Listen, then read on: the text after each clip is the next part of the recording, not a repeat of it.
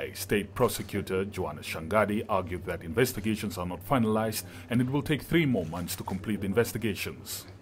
Austrian-born Lichtenstrasser was escorted to the court by a group of uniformed officers.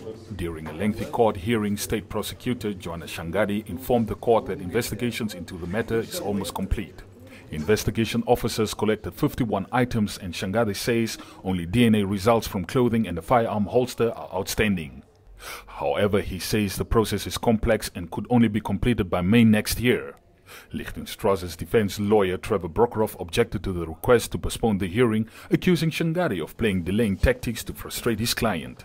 He said the postponement would negatively affect his client. But Magistrate Brown explained that it is a serious case and the court needed to be furnished with all the evidence. She then ordered the state that the laboratory technicians provide the court with a progress report regarding the DNA tests.